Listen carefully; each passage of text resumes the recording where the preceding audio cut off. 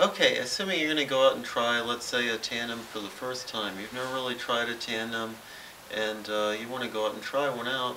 Uh, the critical thing you want to do is um, it's all about, you know, what you're used to.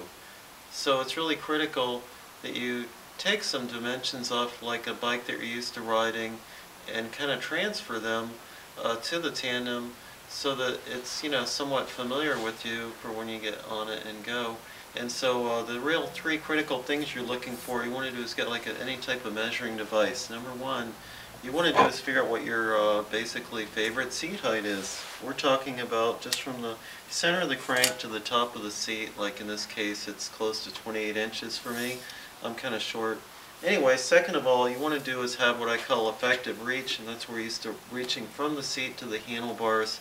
Like in this case, uh, should be about 19 inches or so.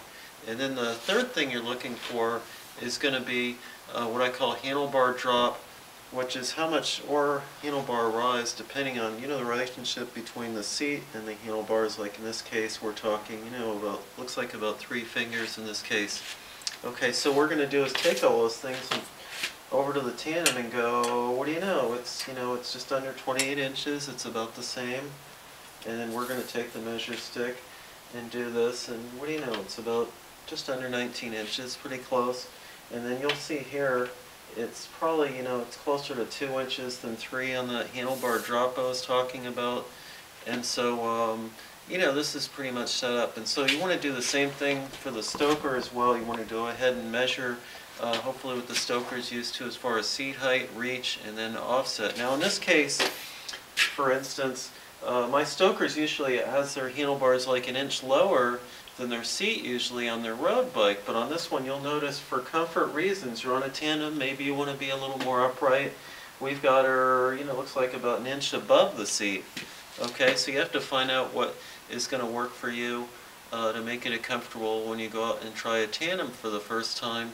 Okay, so the second thing you want to be concerned about is um, you never want to just jump on a tandem. The two of you have never been on one before and we've got it all dialed in so we should be able to just jump on this baby and fly down the road. Yeah, don't go down that path. What you want to do is always have the captain go out on the tandem first and thoroughly get used to the, how the bike is going to handle.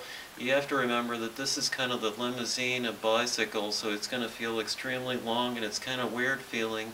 And uh, you want to get used to, you know, the shifting on that particular bike might be slightly different than, you know, your current bike you're riding. Or um, you also want to get used to the braking on it is going to be, you know, the reach may be slightly different. So you want to get kind of familiar with that. I would really recommend spending a minimum of 15 minutes to half an hour uh, for the captain to go out and try a tandem before having a stoker on the back of it.